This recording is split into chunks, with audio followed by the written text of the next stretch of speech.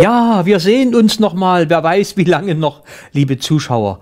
Falls Sie sich jetzt gewundert haben, dass Sie die aktuelle Kamera gar nicht empfangen konnten, das hat sich früher niemand getraut, die aktuelle Kamera zu zensieren. Eine Zensur fand nicht statt, also findet jetzt nicht statt. Ne?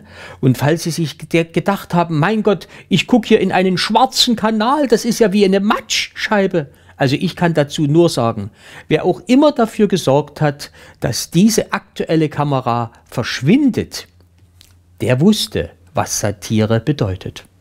Ganz kurz nochmal erklärt, bei Satire gilt, wer sich betroffen fühlt, ist gemeint. Danke für die Aufmerksamkeit.